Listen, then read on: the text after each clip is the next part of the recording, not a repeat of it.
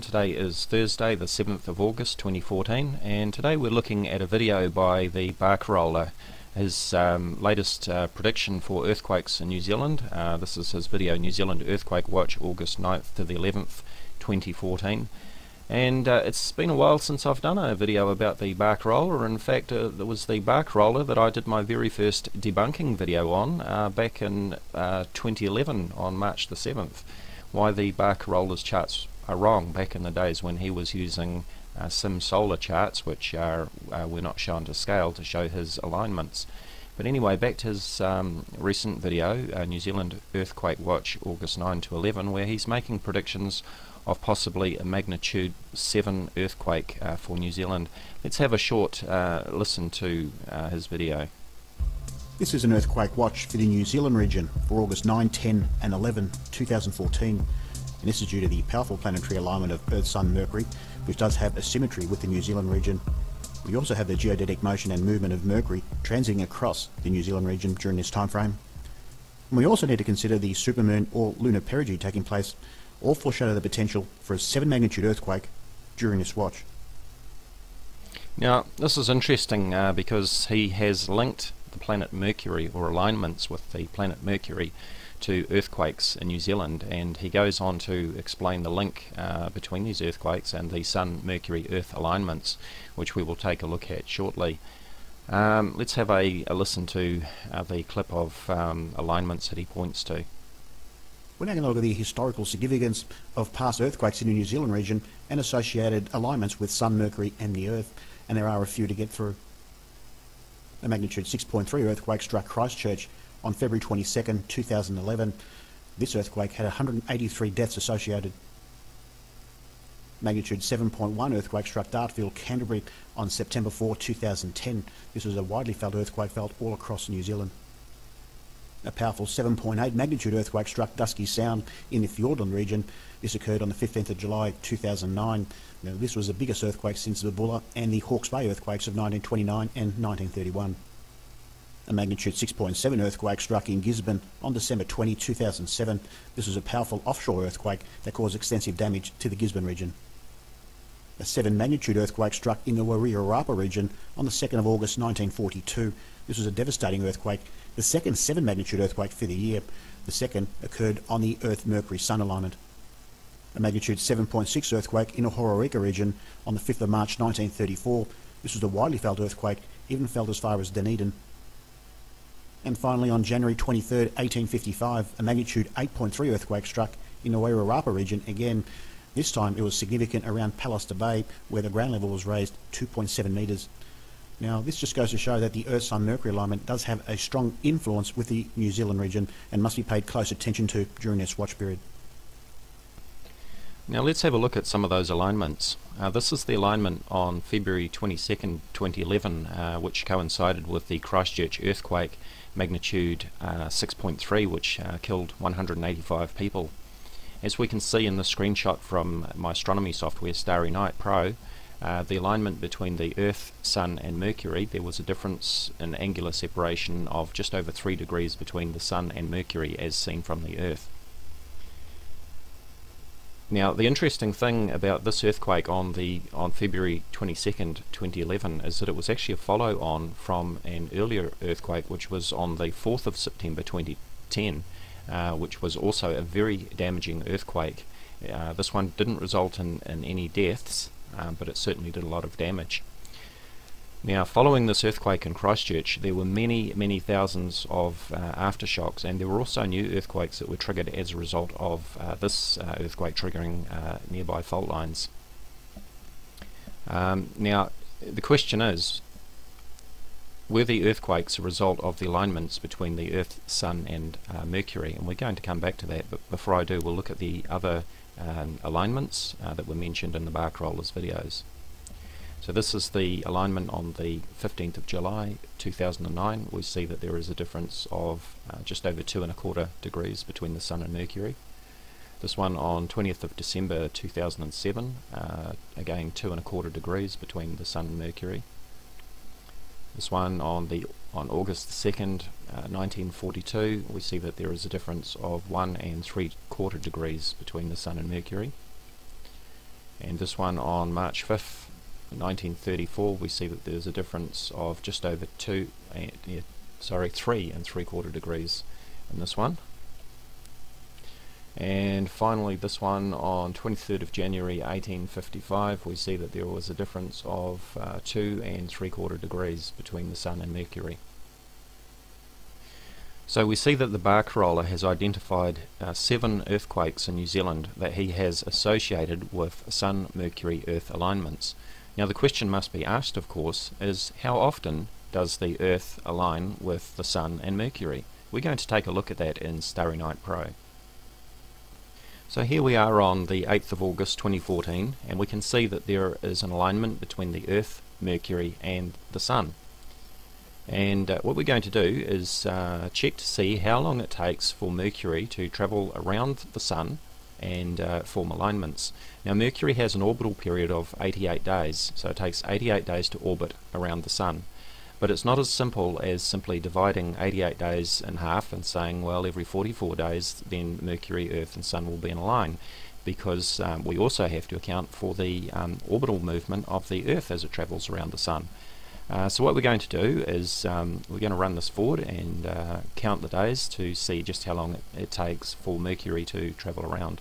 So we're starting on 8th of August and I'm going to count the days through as we go until Mercury goes from the far side of the Sun as we see it here right round in its orbit to the near side. Here we go.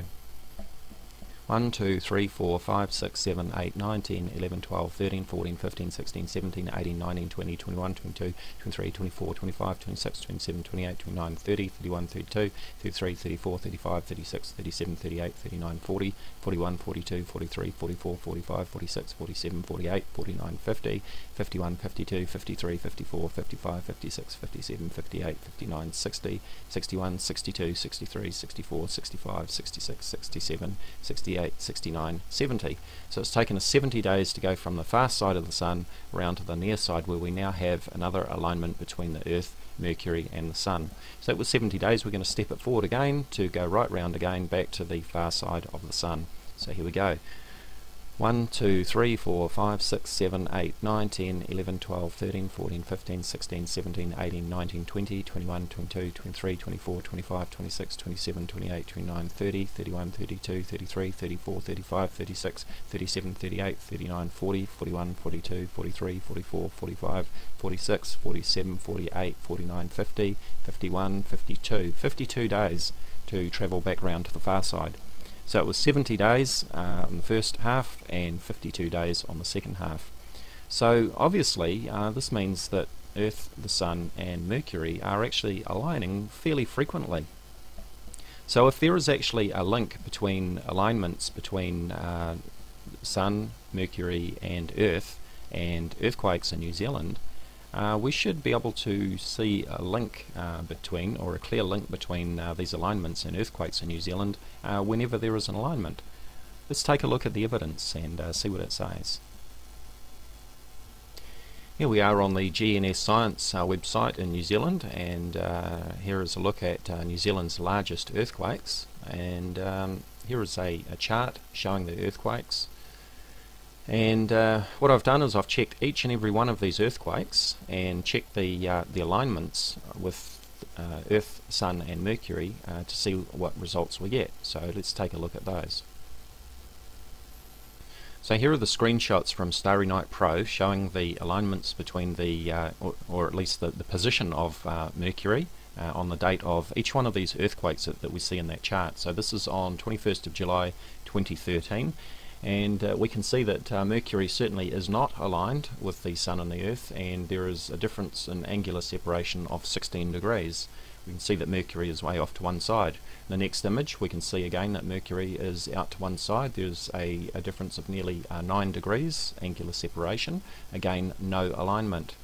And this one from December 23, uh, 2011, we see that uh, Mercury is uh, almost as far out to the, the right in its position on its orbit around the Sun as it could go, and uh, there's nearly 22 degrees um, difference, so again no alignment. Um, now February 22nd, 2011, uh, this was the Christchurch earthquake, uh, which killed 185 people, and we see that there is almost an alignment. Uh, the Barcaroller has called this an alignment in his video, but as we can see that there were over 3 degrees difference in angular separation between the Earth, uh, Sun and Mercury. But certainly it is closer to uh, an alignment as we see there. The next one is on June 13, 2011, and uh, again, uh, yeah, I would count this as an alignment. Certainly, it is uh, just over one degree, and we've got Mercury uh, behind the Sun in very fairly close alignment. This one on um, 4th of September uh, 2010. This was the date of the uh, the first Christchurch earthquake that started the sequence of um, major earthquakes and aftershocks. And we see that there is just over 4 degrees. So uh, as an alignment it's actually pushing it certainly in a uh, 2 degree uh, analysis. It looks like it's aligned but when we account for th 3D, uh, three dimensionals um, then we see that uh, Mercury was actually quite out of alignment by uh, just over 4 degrees as seen from the Earth. Uh, the next one is on July 15, uh, 2009, and again, uh, it is fairly close to alignment. We've got just over two and a quarter degrees there, so uh, we could count that one as an alignment.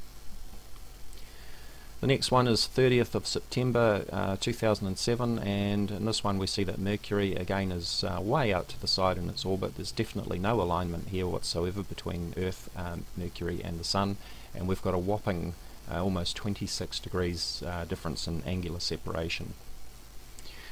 On this one on 20th of December 2007 it is close to alignment just over uh, two and a quarter degrees so that could possibly be an alignment uh, on that one. On the next one, uh, 23rd of November 2004, again Mercury is way out to the side and we've got uh, just under 22 degrees difference angular separation. August 22nd, 2003, again Mercury is far out to the side in its orbit and we have uh, 25 and 3 quarter degrees difference. This one February 6, 1995, we've got 6 and 3 quarter degrees uh, difference, so again no alignment on that one. On March 2nd, 1987, which is the date of the uh, Edgecumbe earthquake, uh, we've got just under 6 and 3 quarter degrees, so no alignment with that one. And on May 24th, 1968, Mercury is way out to the side, and we've got uh, just over tw uh, 22 and one half degrees difference on that one, so definitely no alignment. On June 24, 1942, uh, Mercury is out to the side again with almost 16 degrees difference, so definitely no alignment on that one on August 2nd 1942 uh, this is a fairly close alignment with uh, one and three quarter degrees between the Sun and Mercury with Mercury behind the Sun this one on March 5th 1934 uh, although we've got a 2D alignment when we allow for 3D we've got uh, just over three and three quarter degrees between the Sun and Mercury. So it's debatable whether we can call that an alignment uh, with that amount of angular separation. February 13, 1931, the date of um, one of the Napier earthquakes in Hawke's Bay, and we've got Mercury again far out to the side, so definitely an alignment between Earth, Sun and Mercury could not be attributed for the Hawke's Bay quake on 13th of February 1931. We've got 21 degrees difference on that one. February the 3rd, uh, 1931, which was the first Napier earthquake, uh, we've got 24 and a quarter degrees and again Mercury is way out to the side so definitely no alignment on that one. June 17, 1929, again no alignment, we've got uh, just under 12 and a quarter degrees between uh, Mercury and the Sun, definitely no alignment on that one. March 9th, 1929, Mercury way off to the side again and uh, just over 26 and 3 quarter degrees. February 12, 1893 and we've got just under 4 degrees between uh, Sun and Mercury with Mercury behind the Sun. I wouldn't class that one as an alignment. It's getting close though. September 1st 1888 and we've got just under 8 degrees between the Sun and Mercury with Mercury behind the Sun so again definitely no alignment for that earthquake. October 19 1868 and uh, again Mercury is far out to the side in its orbit. We've got um, just under 24 degrees, uh, so definitely no alignment with that one. February 23rd, 1863, Mercury far out to the, the side, again with uh, 22 and a quarter degrees, no alignment.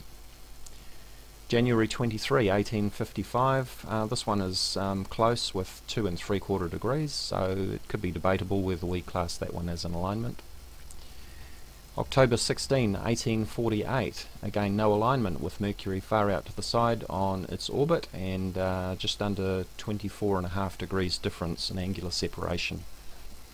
So if we have a look at a summary of those uh, earthquakes and alignments, uh, we can see that uh, 21 of those 27 earthquakes were showing no alignment at all, uh, whereas 6 of the earthquakes, that's 6 out of 27, were showing an alignment of 3 degrees or less. Now if we remember that uh, in any one year we see a minimum of 6 alignments with Mercury, sometimes 7, that means that in a 10 year period we're going to see a minimum of 60 alignments and in a 100 year period we're going to see a minimum of 600 alignments.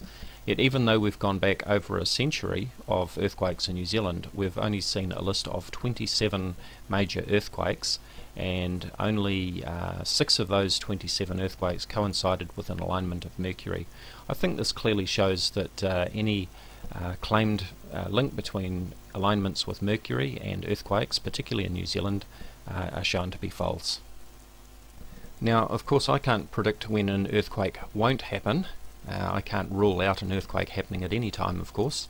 Nobody can predict when an earthquake will happen with any certainty, and it will remain to be seen um, just how accurate this earthquake prediction by the Barcaroller for a magnitude 6.5 to magnitude 7 earthquake from August 9 through 11 for New Zealand goes. Will this be another failed prediction for the Barcaroller? Well, only time can tell.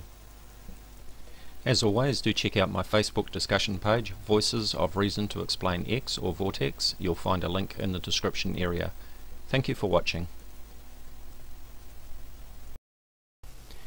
Hello YouTube, this is Dazza the Cameraman. Today is Thursday the 7th of August 2014 and today we're looking at a video by the Barcaroller his um, latest uh, prediction for earthquakes in New Zealand. Uh, this is his video New Zealand Earthquake Watch August 9th to the 11th 2014 and uh, it's been a while since I've done a video about the Barcaroller in fact uh, it was the Barcaroller that I did my very first debunking video on uh, back in uh, 2011 on March the 7th why the Barcaroller's charts are wrong. Back in the days when he was using uh, sim solar charts which are uh, were not shown to scale to show his alignments. But anyway back to his um, recent video uh, New Zealand Earthquake Watch August 9 to 11 where he's making predictions of possibly a magnitude 7 earthquake uh, for New Zealand.